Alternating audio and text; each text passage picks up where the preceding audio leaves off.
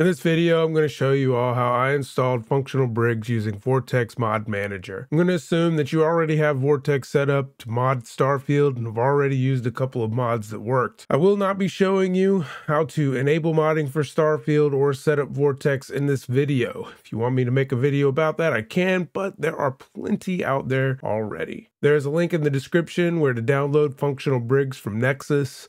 Once you are there, if you click on the drop down menu here, it will show you that you need plugins.txt enabler in order for this mod to work. Once you get to the mod page for plugins, you will notice that you will need Starfield Script Extender or SFSE installed. There's a link in the description for both of these mods. In the description for SFSE, it says that you should install manually by putting all the files from the mod into your games folder. You can get to that folder by opening Vortex, going to the the mods tab and ticking on the drop down menu here where it says open. From here, just click on open games folders here you can move over the .exe and .dll files that were downloaded from the mod. Also move over the file from the source file or SRC file to the SRC file in the games folder. Personally, I downloaded and installed SFSE using Vortex and so far it's been working great. Uh, if you do this, make sure it's enabled. Vortex should automatically see it and add it to your dashboard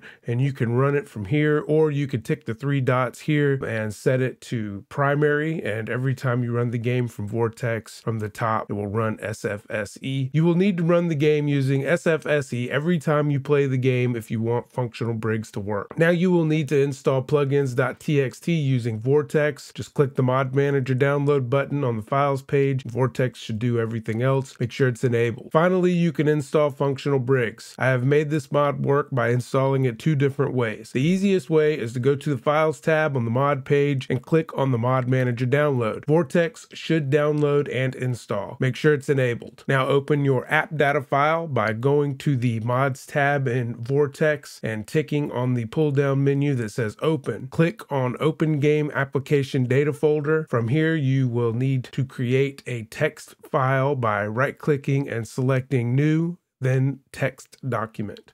Name the document plugin. Just like you see on the screen, open the document using Notepad, type the pound sign at the top and press enter. Now type an asterisk mark, then jail.esm. I will type this in the description so you can copy and then paste it. Make sure to save the file and exit. The mod should work now. The only other way I've got this mod to work is by installing manually. Just go to the files tab on the mod page here and click on manual download. You will have to extract these files using something like 7-zip or WinRAR, and you should end up with a folder with files like this. Now go to the mods tab in Vortex and tick on the open drop down once again and select open game folder. From here, open the data folder. From here, you can copy over the jail.esm file. Now open the scripts folder here and also here from the downloaded mod. Copy all the .pex files over from the mod folder to the games folder. Now open the source folder in both the games folder and the downloaded mod folder. Copy over all the .psc files from the mods downloaded folder to the games folder. You will still need to create a text file called plugins with the hashtag and the jail.esm saved to it, just like we did earlier. These are both ways I have made this mod working using using Vortex as a mod manager. If this video helped you, then don't forget to subscribe. I'm Joey Keith, and I hope you have a wonderful rest of your day.